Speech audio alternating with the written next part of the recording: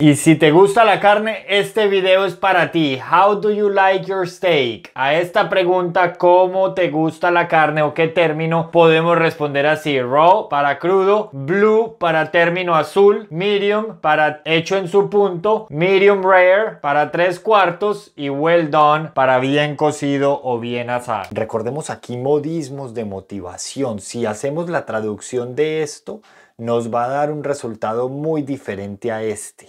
Pero observen, every cloud has a silver lining. Esto en teoría quiere decir que no hay mal que por bien no venga.